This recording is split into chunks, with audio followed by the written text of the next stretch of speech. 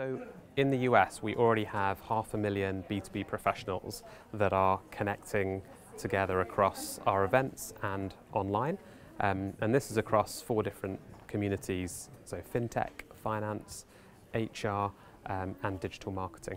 Contentive's moving away from industry standards and we see the US market as a place that is encouraging us to work on innovative ways of connecting B2B marketers and the audiences that they want to target.